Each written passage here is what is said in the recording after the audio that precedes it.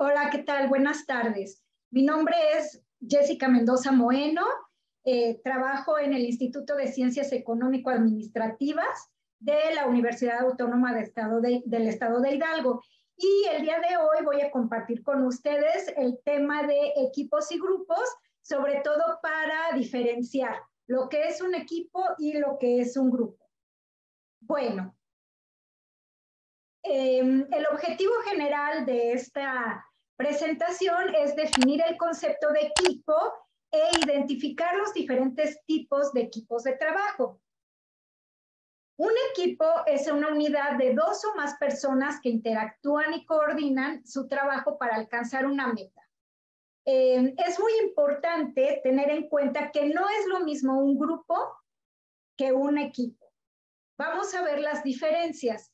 Un grupo tiene un líder fuerte y designado, mientras que un equipo comparte o va rotando las funciones de liderazgo. El grupo tiene una responsabilidad individual, es decir, cada uno de los integrantes es responsable de su propio trabajo. Mientras que en un equipo tenemos la responsabilidad individual, pero tenemos también la responsabilidad colectiva. Es decir, si el objetivo no se llega a cubrir, la meta no se llega a cubrir, entonces no nada más es la responsabilidad de mi compañero, sino que es la responsabilidad de todos nosotros, por lo tanto, la responsabilidad es compartida. En el caso del grupo, pues se tiene el mismo propósito, sin embargo, en el caso del equipo se tiene un propósito, pero también una visión.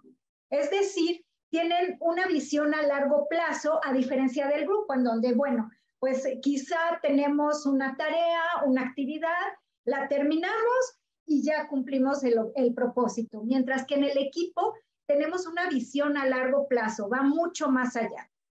En el, en el caso del grupo, pues por lo tanto también los productos son de trabajo individual. Bueno, a mí me tocó esto, yo ya cumplí. Mientras en el caso del equipo, pues tenemos, al tener una responsabilidad compartida, una visión a largo plazo, eh, si yo llego a terminar las actividades a tiempo y mi compañero aún no las termina, yo me involucro porque el, producto finalmente es colectivo. En el caso del grupo, la eficacia se mide indirectamente, es decir, se mide sobre todo en términos financieros muy contables. Eh, mientras que en el caso de un equipo, la eficacia se mide directamente al evaluar el trabajo del colectivo. Va mucho más allá. No es nada más cumplimos la meta, sí, en términos financieros tenemos mejores resultados, sino también cuál fue el trabajo como equipo, cómo fue que nos involucramos y qué aprendizaje tenemos al final. En el caso del grupo, bueno, el grupo discute, decide y delega el trabajo a los individuos, a los individuos, perdón, mientras que en el caso del equipo eh, se discute, se decide y se comparte completamente el trabajo. Eh, bueno, vamos a ver que existen diferentes tipos de equipo y básicamente tenemos cuatro, que son de solución de problemas, los equipos autodirigidos, los equipos multidisciplinarios y los equipos virtuales.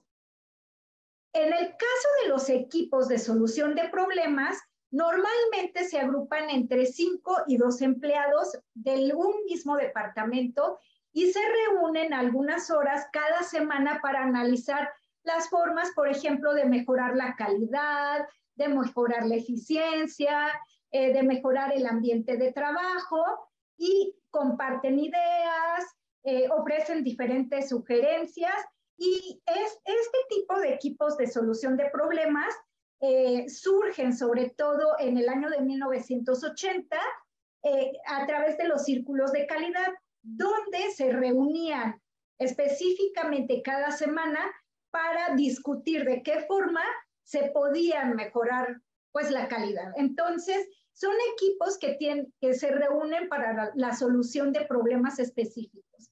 En el caso de los equipos de trabajo autodirigidos, el propio nombre lo dice, son autodirigidos. Por lo tanto, ellos, eh, ellos mismos toman sus propias eh, decisiones. Eh, consiste en grupos de 10 a 15 integrantes y eh, lo, lo, lo interesante es que asumen las responsabilidades del antiguo supervisor.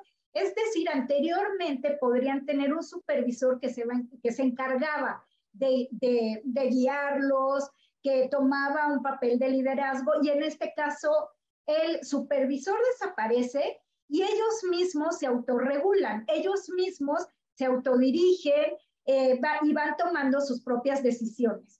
Incluye planear y programar el trabajo, asignar tareas a los integrantes, llevar un control colectivo, colectivo perdón, sobre el ritmo de trabajo, toman decisiones operativas y, eh, bueno, trabajan de manera conjunta con clientes, con proveedores. Pero eh, lo interesante de estos equipos es que no necesitan un, pues un, un, un, líder, sino que ellos mismos se autorregulan y se va rotando también el liderazgo. Eh, tenemos los equipos multidisciplinarios. Aquí nuevamente el propio nombre nos lo dice. Son, se reúnen personas de diferentes eh, disciplinas, de diferentes departamentos es algo muy similar a la fuerza de trabajo, es decir, son equipos multidisciplinarios pero temporales.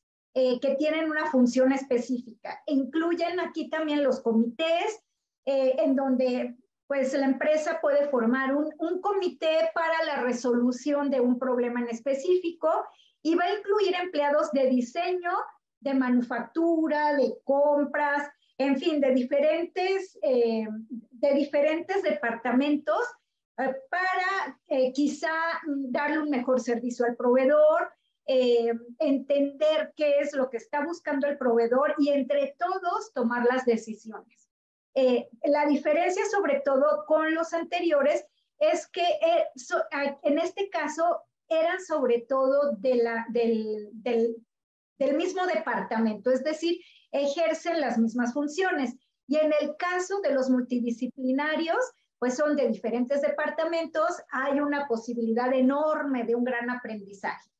Y finalmente, los equipos virtuales. Los equipos virtuales, hasta antes de la pandemia, quizá era algo eh, mm, que no era tan común, pero eh, algo que, que, nos dejó la, la pandemia fue aprender a trabajar en forma virtual y los equipos virtuales se vieron más que nunca beneficiados y sobre todo con un gran aprendizaje.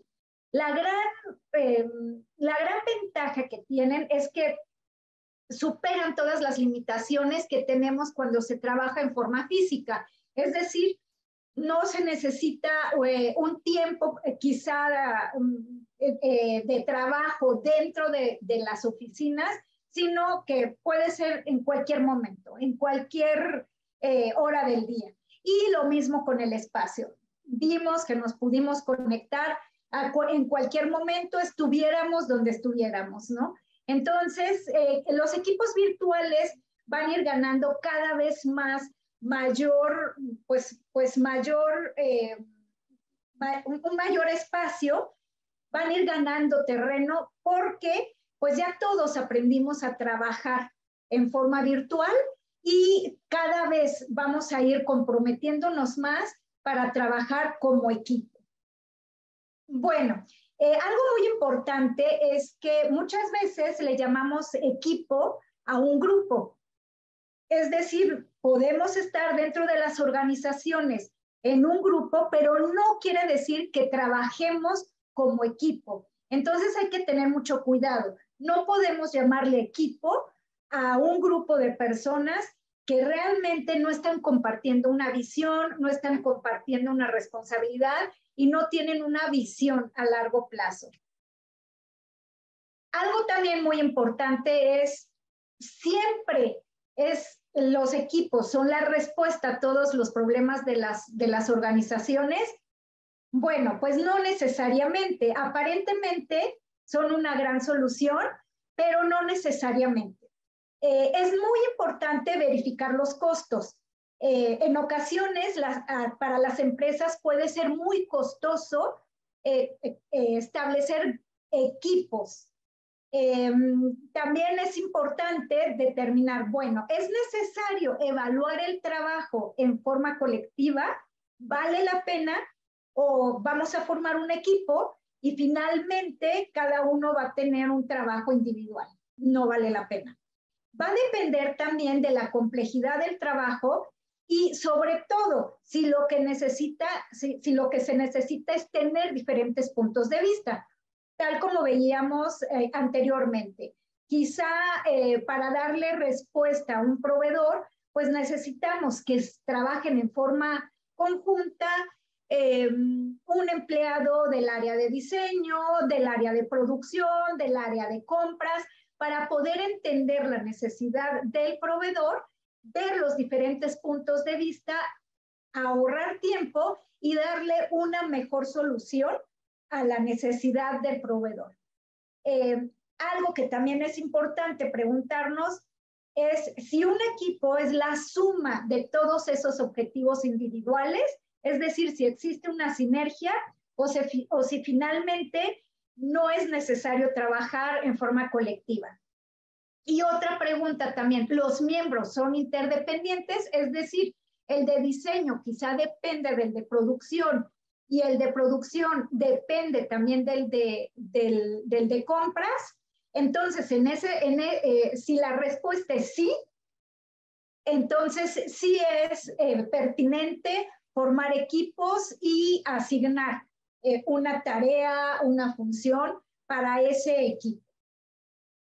Bueno, finalmente esta es la bibliografía y eh, pues muchas gracias. Eh, espero que haya sido de mucho provecho esta presentación, sobre todo para poder entender lo que es un equipo, entender los diferentes equipos y conocer la diferencia entre un grupo y un equipo. Muchas gracias. Hasta luego.